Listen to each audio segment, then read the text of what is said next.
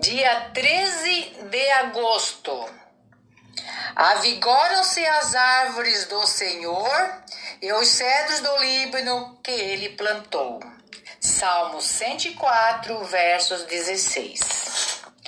Os cedros do Líbano são símbolos do cristão, no sentido de que eles devem seu plantio inteiramente ao Senhor. Isto é totalmente verdadeiro para todo filho de Deus. Ele não é plantado pelo homem nem por si mesmo, mas plantado por Deus. A misteriosa mão do Espírito Divino coloca a semente viva em um coração que ele mesmo preparou para recebê-la.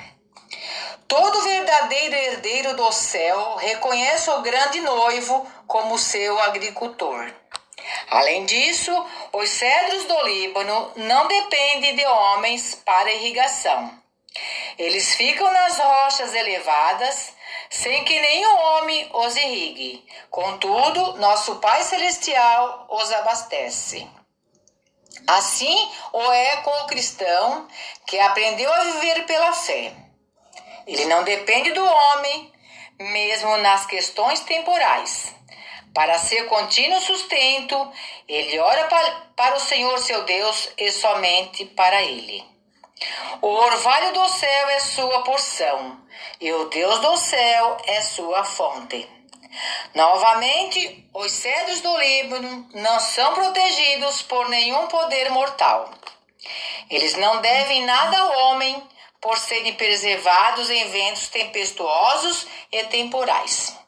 São árvores de Deus, mantidas e preservadas por Ele e somente por Ele. Precisamente o mesmo acontece com o cristão. Ele não é uma planta de estufa, abrigada da tentação. Ele está na posição mais exposta. Não tem abrigo nem proteção. Exceto por isso, as amplas asas do Deus eterno sempre cobrem os cedros que ele mesmo plantou.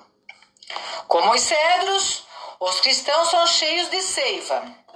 Têm vitalidade suficiente para permanecer sempre verdes, mesmo em meio às neves do inverno. Por fim, a condição viçosa e grandiosa do cedro deve ser motivo de louvor a Deus apenas. O Senhor e apenas ele. É tudo para os cedros. E, portanto, Davi muito docemente coloca esse fato em um dos salmos. Louvem ao Senhor árvores frutíferas e todos os cedros. No cristão não há nada que possa magnificar o homem. Ele é plantado, nutrido e protegido pela mão do Senhor, e a ele seja imputada toda a glória. Amém.